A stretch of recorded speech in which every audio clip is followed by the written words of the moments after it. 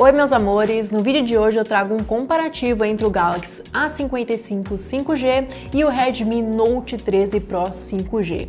Qual dos dois será que é a melhor opção para você? É isso que vamos descobrir agora nesse vídeo. Mas antes de começar com o vídeo, já vai deixando o seu like, já se inscreve no canal e não esquece de ativar o sininho de notificação para não perder nenhum vídeo novo. Primeiramente, vamos começar aqui mostrando o design deles, a traseira deles, né? Os dois têm a traseira feita em vidro, tá? E o Redmi Note 13 tem a traseira mais fosca e o Galaxy A55 5G tem a traseira mais brilhante, tá? Então ele consequentemente vai ficar com mais marcas de dedos do que o Note 13 Pro 5G. Mas como eu estou aqui com a versão branca, não fica tanto assim, mas se você pegar a versão preta, vai ficar com mais marcas de dedos, tá? Mas coloca aí nos comentários qual dos dois você acha mais bonito, qual design você gostou mais. Aqui a lateral do Galaxy A55 tem é, metal, tá? Então ela é feita em metal as laterais aqui do Galaxy A55 5G. Enquanto o Redmi Note 13 Pro 5G, as laterais aqui são feitas de plástico, tá? Não é metal. Então a construção aqui do Galaxy A55 vai ser melhor aí por ser vidro e metal. Agora aqui em cima no Redmi Note 13 Pro 5G, temos a entrada para fone de ouvido, tem também aqui saída de som,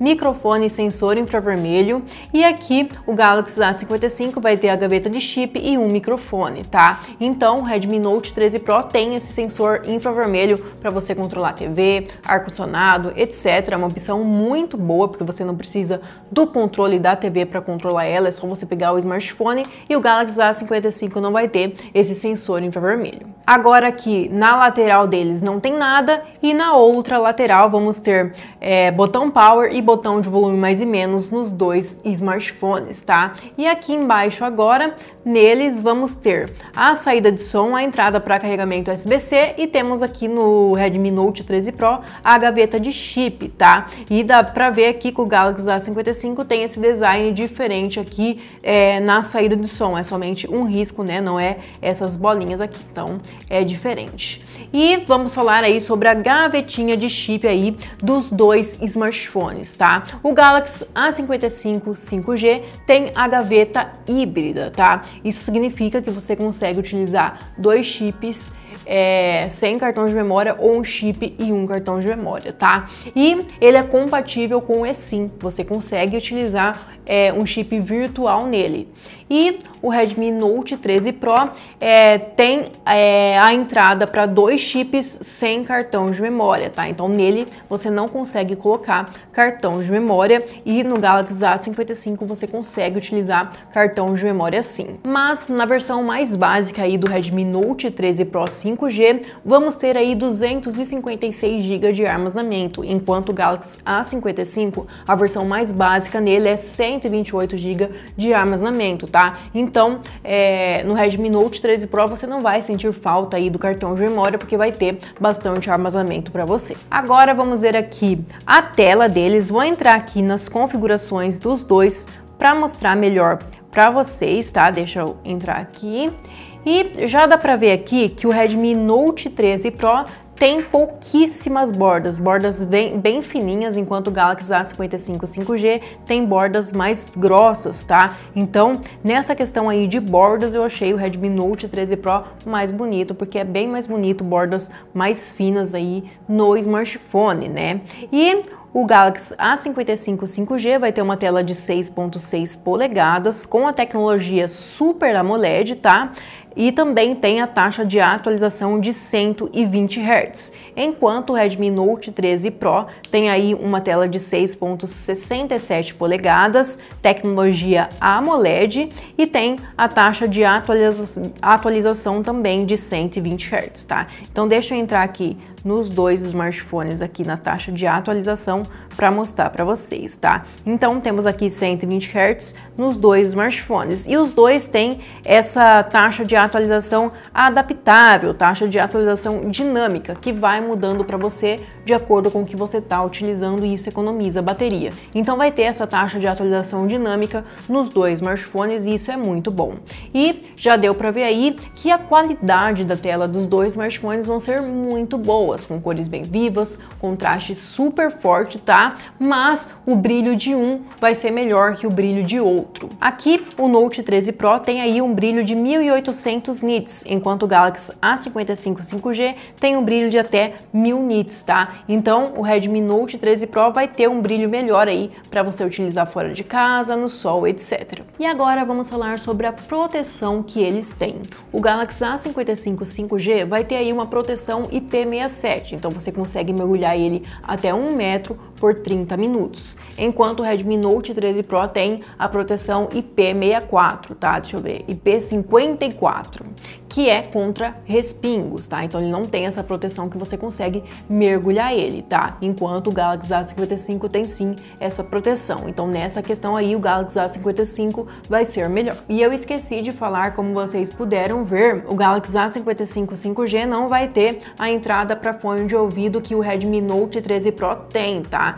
Então não tem aqui em cima e não vai ter também aqui embaixo. E agora na questão de bateria deles, o Redmi Note 13 Pro 5G vai ter uma bateria de 5.100 mAh, enquanto o Galaxy A55 5G vai ter uma bateria de 5.000 mAh. Então é uma questão aí de 100 aí mAh aí, é, de diferença nos dois smartphones mas tem a questão do carregador deles, tá? Na caixinha do Galaxy A55 5G vem um carregador de 15 watts somente. Ele suporta 25 watts, então se você quiser comprar um carregador de 25 watts para carregar ele, você vai conseguir carregar, mas o Redmi Note 13 Pro 5G vai ter o carregador na sua caixinha de 67 watts, tá? Então é um carregador bem mais grande, um carregador bem mais rápido para carregar a bateria dele. Então vai carregar em torno de 40 minutos por aí essa bateria dele, tá? E também tem uma outra diferença na caixinha deles, é que o Redmi Note 13 Pro 5G vem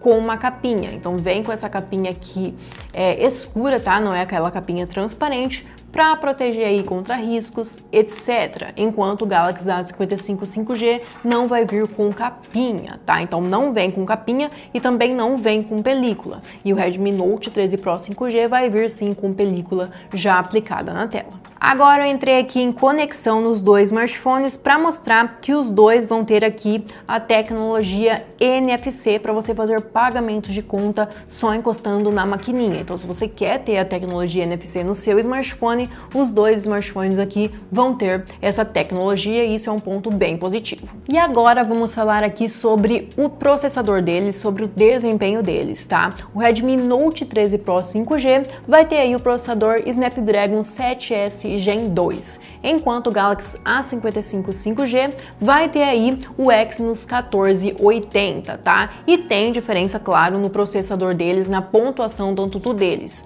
Aqui, por exemplo, no Antutu, o Redmi Note 13 Pro vai fazer 588 mil pontos por aí e o Galaxy A55 5G vai ter 725 mil pontos por aí. Então já dá para ver que o desempenho aí do, do Galaxy A55 5G vai ser melhor que o desempenho do Redmi Note 13 Pro 5G, tá? Mas não é, não estou falando que o Redmi Note 13 Pro 5G tem um desempenho ruim, porque não tem não. Os dois smartphones vão conseguir rodar é, qualquer jogo que você quiser rodar aí, mas é, o Galaxy A55 5G vai se sair melhor aí no desempenho desses jogos, tá? Então tem essa diferença aí no desempenho e no processador deles. E é claro que o link dos dois smartphones vão estar na descrição do vídeo para você comparar os valores deles e para você decidir aí qual dos dois você quer comprar. Então corre na descrição do vídeo para você conferir esses valores. E agora vamos falar sobre as câmeras deles, tá? Vou começar primeiro aqui pelas câmeras do Redmi Note 13 Pro 5G. Ele vai ter aí uma câmera principal traseira de 200 megapixels, tem também câmera ultra wide de 8 megapixels, câmera retrato para dar desfoque no fundo de 2 megapixels e tem aí a sua câmera frontal de 16 megapixels. Enquanto o Galaxy A55 5G vai ter uma câmera principal traseira de 50 megapixels, câmera de é, ultra wide de 12 megapixels, câmera macro de 5 megapixels e tem a sua câmera frontal de 32 megapixels. E é claro que eu tirei fotos aí com essas câmeras para mostrar o comparativo delas, tá? E eu quero que vocês coloquem aí nos comentários qual dos dois você achou melhor nas suas câmeras? Você achou melhor o Redmi Note 13 Pro 5G ou o Galaxy A55 5G? Qual dos dois aí você acha melhor aí para você comprar? Coloca aí nos comentários que eu quero saber a sua opinião. Então, esse foi o comparativo entre o Redmi Note 13 Pro 5G e o Galaxy A55 5G. Eu espero que você tenha gostado do vídeo, espero que eu tenha conseguido ajudar você.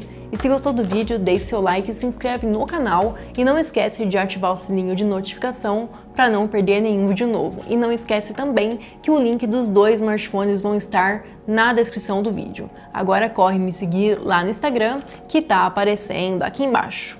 Até o próximo vídeo.